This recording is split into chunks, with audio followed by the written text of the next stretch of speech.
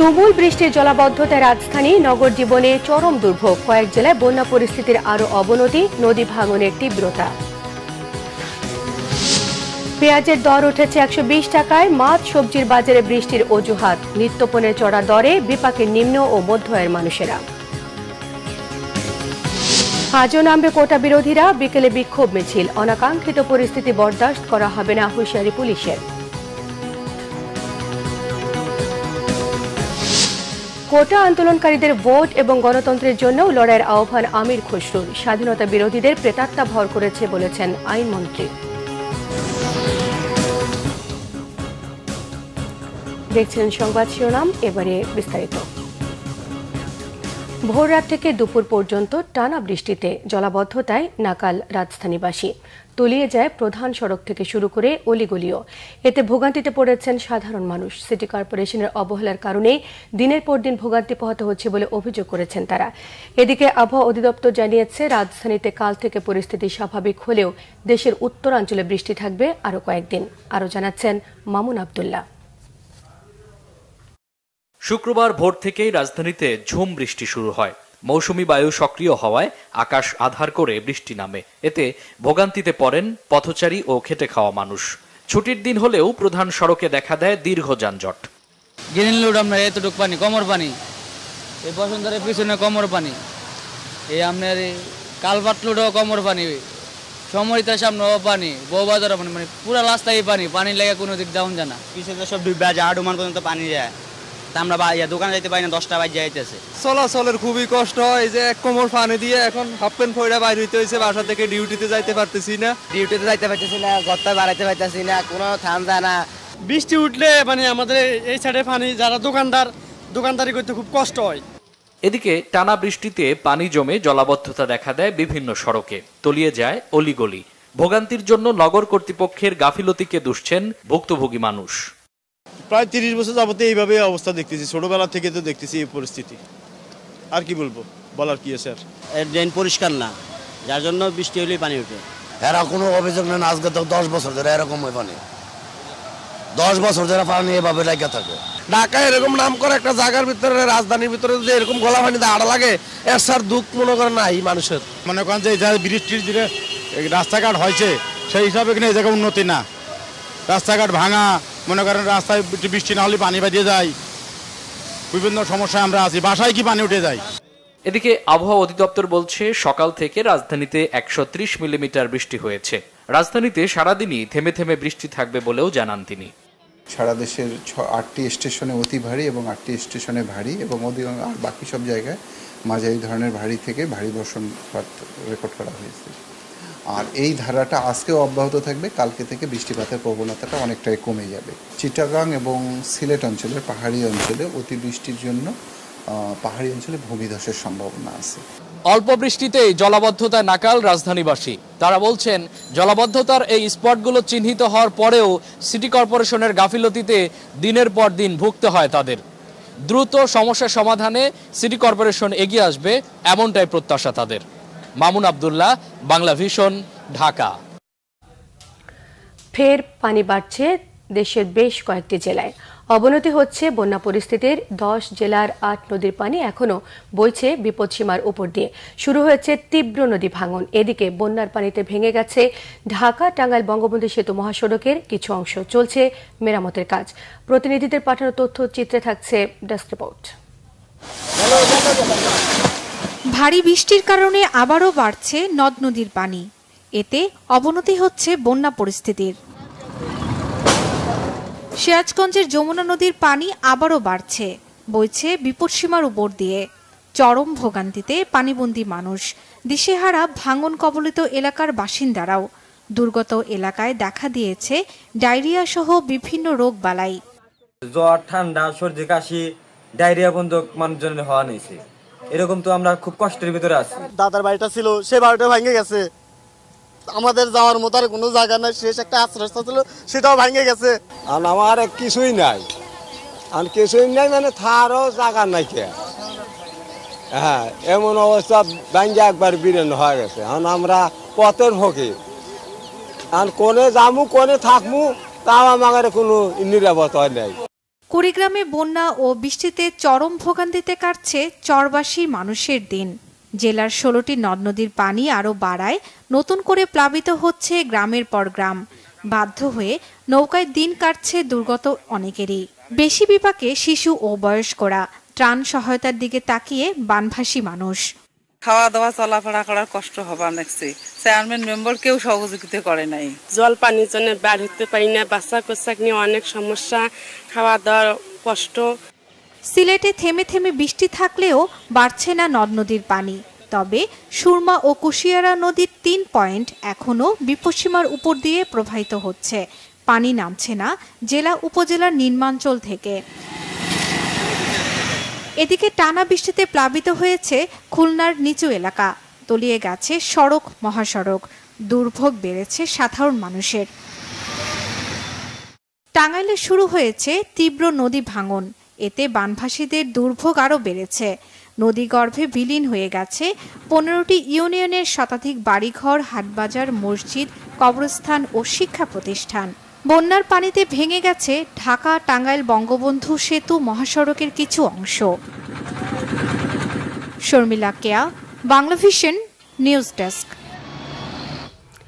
অস্থিরতা আরও বেড়েছে পেঁয়াজ এবং আলুর বাজারে। কয়েকদিনের ব্যবধানে কেজিতে ত্রিশ টাকা বেড়ে পেঁয়াজের দাম ঠেকেছে একশো দশ থেকে একশো বিশ টাকা পর্যন্ত। আর কেজিতে আরও পাঁচ টাকা বেড়ে আলু বিক্রি হচ্ছে ষাট টাকা দরে। কোনো কারণ ছাড়াই কেজিতে চার থেকে পাঁচ টাকা বেড়েছে সব ধরনের চালের দাম। দাম বাড়ার পেছনে যৌক্তিক কারণ জানা নেই ব্যবসায়ীদের। পর্যাপ্ত সরবরাহ থাকলেও গেল সপ্তাহের চেয়ে মাছের দামও চড়া। এদিকে ব্রয়লার মুরগির দাম কিছুটা কমে বিক্রি হচ্ছে একশো সত্তর টাকা কেজি। তবে আগের বেড়ে যাওয়া দামে প্রতি ডজন ডিম বিক্রি হচ্ছে একশো চল্লিশ থেকে একশো পঁয়তাল্লিশ টাকায়। বৃষ্টির অজুহাতে পঞ্চাশ থেকে ষাট টাকার কমে মিলছে না বেশিরভাগ সবজি। কাঁচামরিচের কেজিও দুশো টাকার বেশি। নিত্যপণের এমন উচ্চ দামের বাজারে বিপাকে নিম্ন ও মধ্যয়ের মানুষ। আয় ব্যয়ের হিসাব মেলাতে না পেরে ক্ষুব্ধ তারা। এমন পরিস্থিতিতে বাজারে কার্যকর তদারকির দাবি জানিয়েছেন ভোক্তারা। কোটা সংস্কারের দাবিতে বিকেলে দেশের সব বিশ্ববিদ্যালয় ও কলেজে বিক্ষোভ মিছিল এবং সমাবেশ কর্মসূচি পালন করবে আন্দোলনরত শিক্ষার্থীরা। কোটা সংস্কারে সংসদের জরুরি অধিবেশন ডেকে আইন পাশ না করা পর্যন্ত আন্দোলন চালিয়ে যাবার ঘোষণা দিয়েছে শিক্ষার্থীরা। সরকারি চাকরিতে সর্বোচ্চ পাঁচ শতাংশ কোটা রেখে যৌক্তিক সংস্কার চান তারা। এর আগে দাবি পূরণে বৃহস্পতিবার বিকেল পাঁচটা থেকে শাহবাগ মোড়ে অবস্থান নিয়ে বাংলা ব্লকেট কর্মসূচি পালন করেন তারা।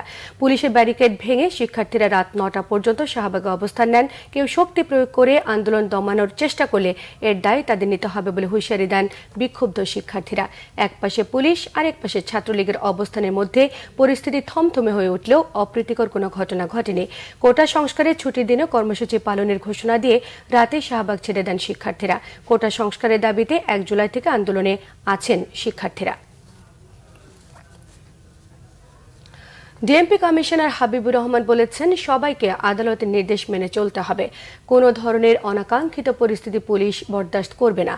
সকালে বাংলাদেশ ক্রাইম রিপোর্টার্স অ্যাসোসিয়েশন ক্র্যাবের ক্রীড়া উৎসব অনুষ্ঠানে সমাজ কল্যাণ মন্ত্রী ডাক্তার দীপুমণি এবং ডিএমপি কমিশনার হাবিবুর রহমানের উপস্থিত থাকার কথা থাকলেও দুর্যোগপূর্ণ আবহাওয়ার কারণে সশরীরে উপস্থিত থাকতে পারেনি পরে ভার্চুয়ালি যুক্ত হয়ে অনুষ্ঠানের উদ্বোধন করেন ডাক্তার দীপুমণি এ সময় ভার্চুয়ালি যুক্ত হয়ে কোটা সংস্কার আন্দোলন নিয়ে ডিএমপি কমিশনার বলেছেন আদালতের রায় মেনে নিতে হবে সবাইকে। আইনের প্রতি শ্রদ্ধাশীল থেকে শিক্ষার্থীদের ক্যাম্পাসে ফিরে যাওয়ার আহ্বান জানিয়েছেন ডিএমপি কমিশনার।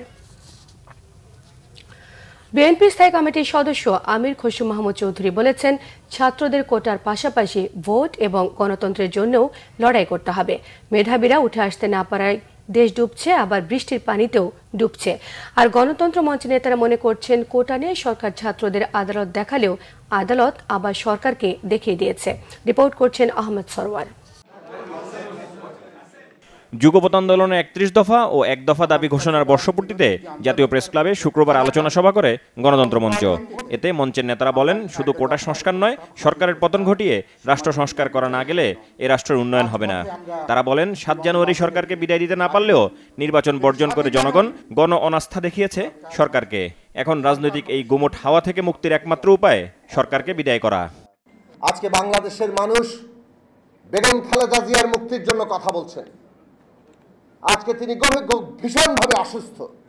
তার চিকিৎসার জন্য বাংলাদেশের মানুষ দাবি করছে, একজন রাজনৈতিক বন্দী, তাকে রাজনৈতিক হয়রানির উদ্দেশ্যে বন্দি করে রাখা হয়েছে, শাস্তি দেওয়া হয়েছে। কিন্তু একজন বন্দিরও চিকিৎসা পাওয়ার অধিকার আছে।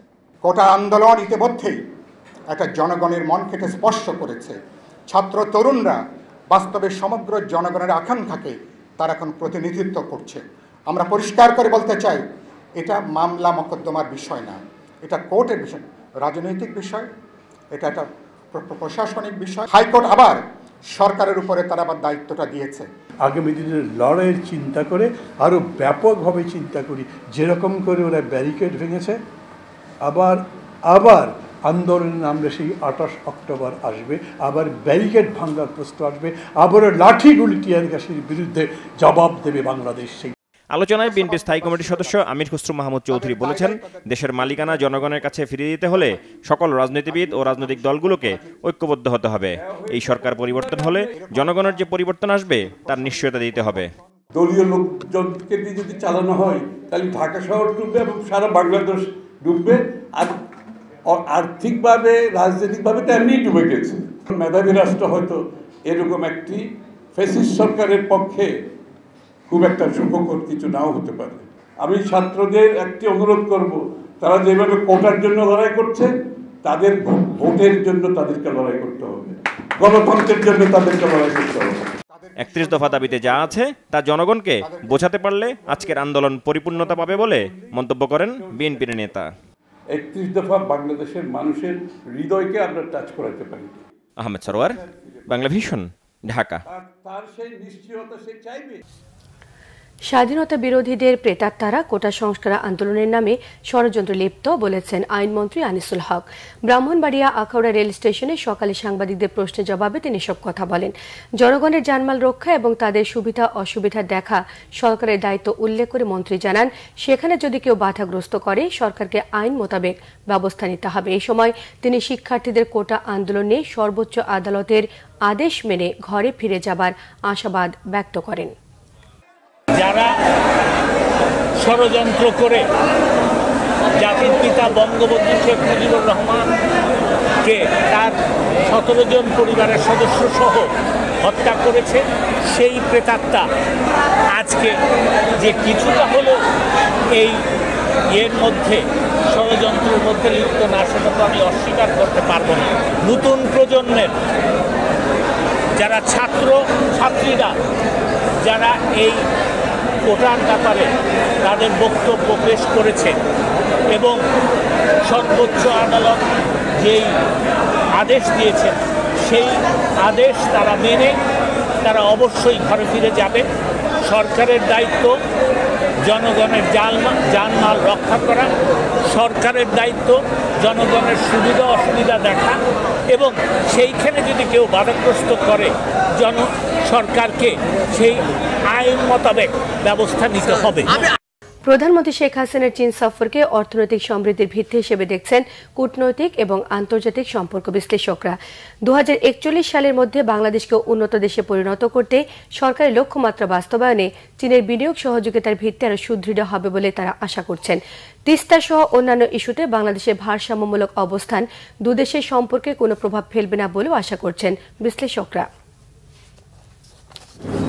প্রধানমন্ত্রী শেখ হাসিনার চীন সফরে বাংলাদেশের অবকাঠামো উন্নয়ন, ডিজিটাল অর্থনীতির উন্নয়নের পাশাপাশি বাণিজ্য বিনিয়োগে বাংলাদেশ ও চীনের মধ্যে একুশটি সমঝোতা স্মারক সই হয়েছে। বাংলাদেশকে এক বিলিয়ন ডলার আর্থিক সহায়তারও ঘোষণা দিয়েছে চীন। প্রধানমন্ত্রীর চীন সফরে চাওয়া পাওয়ার হিসাব কতখানি মিলেছে সে প্রশ্ন এখন সব মহলে। তবে বিশ্লেষকরা মনে করছেন, এ সফরের মধ্য দিয়ে দুদেশের সম্পর্ক আরও মজবুত হবে। বাংলাদেশের উন্নয়নে চীনের বিনিয়োগের পরিধি বাড়তে থাকবে বলেও আশা তাদের। দুই হাজার একচল্লিশের ভিশনের কথা চিন্তা করি যে একটা উন্নত বাংলাদেশ বা স্মার্ট বাংলাদেশ, সেই জায়গায় পৌঁছতে হলে যেই ধরনের অর্থনৈতিক উন্নয়ন দরকার, সেইটার জন্য আমাদের বহির্বিশ্ব থেকে আমাদের সাপোর্ট দরকার, আমাদের সেই ধরনের অর্থনৈতিক মানে সম্পর্ক দরকার। সেটি আমরা চীনের সঙ্গে ইতিমধ্যে প্রতিষ্ঠা করেছে এবং এই সফরের মাধ্যমে এই সম্পর্কটা আরও শক্তিশালী হবে। অর্থনৈতিক সম্পর্কে একটা বড় ভিত্তি তৈরি হয়েছে। এটাকে আগামী দিনে আরও এক্সপান্ড করা। ইলেকট্রিক ভেহিকেলস তারপরে একটা গ্রিন জোন ডেভেলপমেন্ট তারপরে হচ্ছে গিয়ে একটা নর্দার্ন ডিস্ট্রিক্টে একটা ট্রান্সফরমেশন বা ইকোনমিক জোনের একটা কনসেপ্ট ফ্লোট করেছে। আবার আরেকটা ভালো দিক হচ্ছে গিয়ে যে এই যে নগদ আর হচ্ছে গিয়ে হুয়াউই সাথে একটা পার্টনারশিপ ফিনটেক ফিনটেকের একটা পার্টনারশিপ কনক্লুড হয়েছে। তো এগুলা হচ্ছে কি অ্যাকচুয়ালি খুবই ফরওয়ার্ড লুকিং বা প্রোগ্রেসিভ ভূরাজনীতির বাস্তবতায় ভারসাম্যমূলক কূটনীতিতে চীন সহ অন্যান্য দেশকে বাংলাদেশ সহযোগী হিসেবে পাবে বলেও বিশ্লেষকরা আশা করছেন। বাংলাদেশের সঙ্গে যখন চীন সম্পর্ক স্থাপন করেছে বা বিভিন্ন বিষয়ে কথা তখন কিন্তু চীন বাংলাদেশ সম্পর্কের যে বিষয়গুলো, সেগুলো এখানে গুরুত্ব পাবে। বাংলাদেশের সঙ্গে ভারতের সম্পর্ক যখন আমরা দেখি, তখন সেই দু দেশের দ্বিপাক্ষিক যে বিষয়গুলো, সেগুলো গুরুত্ব পায়। এটাকে আমরা অনেক সময় হয়তো চাপিয়ে দেওয়ার চেষ্টা করি যে না, চীন, ভারত যেহেতু বৈরী, সুতরাং বাংলাদেশ হয়তো বা চাপে আছে বা বাংলাদেশকে হয়তো বা সহায়তা করবে না। বিষয়টা তা না। জিওগ্রাফিক্যাল কনটেক্সটেও দেখতে হবে কেননা আম- আমাদের কিন্তু ফিফটি ফোর ট্রান্সবাউন্ডারি রিভার আছে বা প্লাস ওয়ান টু হবে। তো এগুলা কিন্তু সবই ওই যে উজান থেকে ভাটিতে আসে। আমাদের প্রাইম মিনিস্টারও বলেছে যে আমরা বেসিন ওয়াইড কোঅপারেশন চাই ট্রান্সবাউন্ডারি কোঅপারেশন চাই। যদি ট্রান্সবাউন্ডারি কোঅপারেশন হয়, তো বাউন্ডারি বা বেসিন ওয়াইড ম্যানেজমেন্ট করতে হলে যারা বেসিনে আছে তাদের তো আমরা একসাথে হইতেই পারি আর। রোহিঙ্গা সংকট সমাধানে চীনের প্রেসিডেন্টের সহযোগিতার আশ্বাস শিগগিরই কার্যকর হবে বলে মনে করেন তারা। ইমরুল কায়েস বাংলা ভিশন ঢাকা। সংবাদ শেষ করব সে নামগুলো আরও একবার জানিয়ে দিয়ে। তুমুল বৃষ্টির জলাবদ্ধতা রাজধানী নগর জীবনে চরম দুর্ভোগ। কয়েক জেলায় বন্যা পরিস্থিতির আর অবনতি নদী ভাঙনের তীব্রতা। পেঁয়াজের দাম উঠেছে একশো বিশ টাকায় মাছ সবজির বাজারে বৃষ্টির অজুহাত। নিত্য পণ্যের চড়া দরে বিপাকে নিম্ন ও মধ্য আয়ের মানুষ। আজও নামবে কোটা বিরোধীরা। বিকেলে বিক্ষোভ মিছিল। অনাকাঙ্ক্ষিত পরিস্থিতি বরদাস্ত করা হবে না হুঁশিয়ারি পুলিশের। কোটা আন্দোলনকারীদের ভোট এবং গণতন্ত্রের জন্যও লড়াইয়ের আহ্বান আমির খসরুর স্বাধীনতা বিরোধীদের প্রেতাত্মা ভর করেছে বলেছেন আইনমন্ত্রী।